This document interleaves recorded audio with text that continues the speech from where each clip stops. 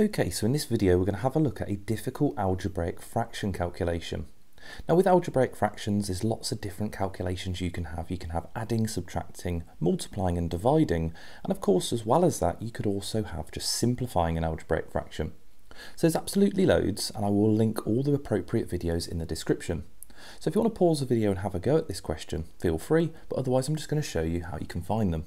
Okay, so when you're on one of these videos, if you click into the description and you scroll down in the description, you'll see right at the top there, you've got a video with the five hardest topics on paper three. If you scroll down a little bit further, you can download my checklists and practice booklets for this exam. Just below that, you'll have the whole series. Obviously, at the moment, this is the first one coming out, so it's not quite filled in yet, but you'll have the whole series of questions that I'm going to be uploading in the lead up to the exam. Just below that, you have the series of exam revision videos. Obviously, we're focusing on paper three now, so we're going to be looking at those paper three videos for foundation or higher. You can also find those in the playlists. So that's how we go about using this video, and right at the bottom, you'll see that for some of them, I'll put some timestamps in, but down the bottom there, you have topics featured in this video. So I'll link all the appropriate videos for this topic or for whichever topic we're looking at right inside the video. So hopefully that's useful and helpful. We've got a lot to get through, so let's get started.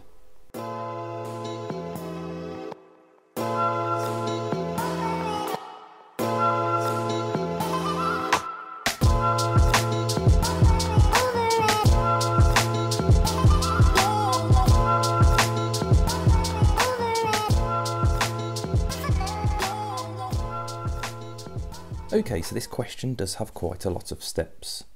Now what we can see from the question, we've got 4 take away, and then we have x plus 3 divided by this other algebraic fraction.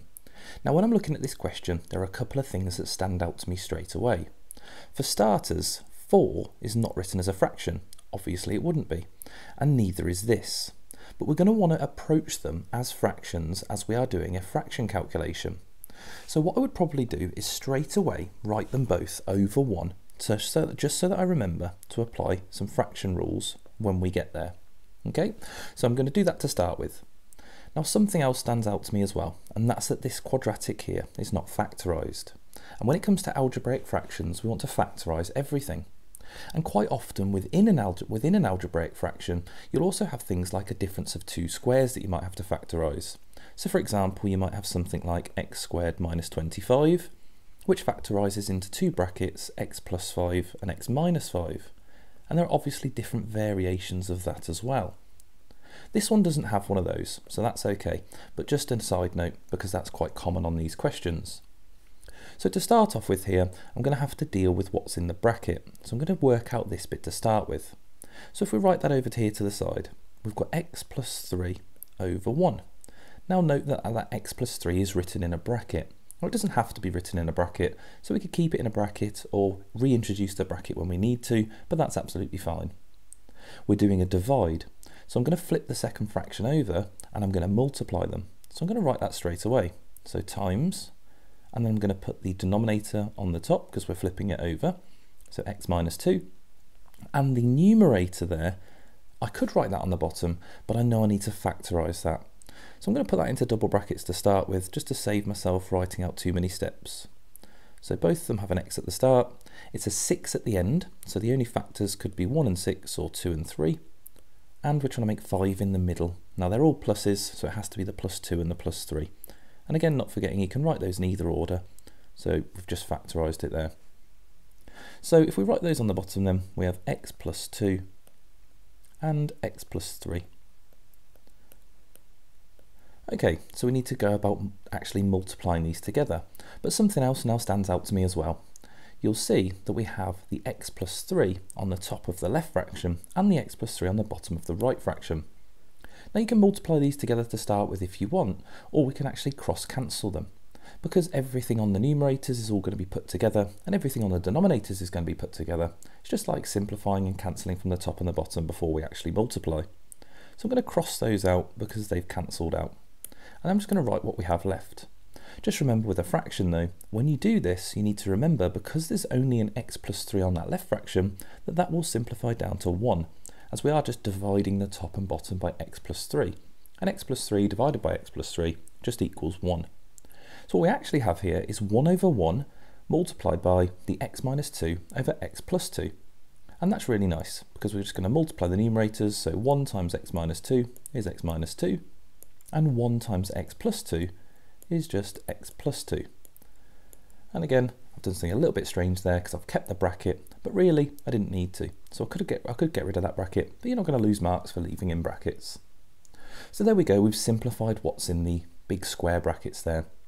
And now we have to deal with the 4 take away our answer. So I'm going to write that down. So 4 over 1, keeping it as a fraction, take away the x minus 2 over x plus 2. Okay, so how do we deal when we're adding or taking away fractions? Well, we need a common denominator. So I'm going to multiply both sides by this x plus 2. As there's only a 1 on the denominator on the left, that's going to make it x plus 2 on the top and the bottom. So I'm going to times the top by x plus 2, and I'm going to times the bottom by x plus 2 as well. So just creating an equivalent fraction where the denominator is x plus 2. Now if I do that, just need to be a little bit careful on the top because there is a 4 there, so that 4 is going to multiply both of them. I could actually write that as a single bracket, or I could just go ahead and write 4x plus 8. But if you feel more confident writing 4 brackets x plus 2 and then expanding it, that's absolutely fine. On the bottom, we've got x plus 2. That's just 1 times x plus 2. So we're going to take away the x minus 2 over x plus 2. And now we have a common denominator, all I have to focus on is the numerator. So I need to do this very carefully as it is a takeaway. So we have 4x and we're going to take away x. So 4x take away 1x would just leave us with 3x. This next part is where I need to be extra careful because I've got plus 8 and we're taking away negative 2. So you need to be careful there because a lot of people are going to write the answer as 6. But when you're taking away a negative, hopefully we know that that's going to become plus 2. So I'm actually going to do 8 plus 2 here. So that's going to become plus 10. So our numerator is going to be 3x plus 10 and our denominator is going to stay the same and that is going to be x plus 2. And there we go, that is our final answer. Now the question says write it as a fraction in its simplest form and you must show your working. Well clearly we've shown our working. The only way that we could simplify this is if the top factorises. Now it doesn't factorise, but for example, maybe that that 3x would be a 4x, and that would mean the top and bottom might simplify because you might be able to factor you can you could definitely factorize 2 out of that and then the bracket might match the x plus 2 on the bottom. Now in this question it doesn't, it doesn't factorise, so that would be our final answer. It would just be 3x plus 10 over x plus 2. So I hope you found that useful and helpful. Again, I'm going to link all the videos that you need in the description. So if you found that useful, don't forget to like, don't forget to comment, don't forget to subscribe, and I'll see you for the next one.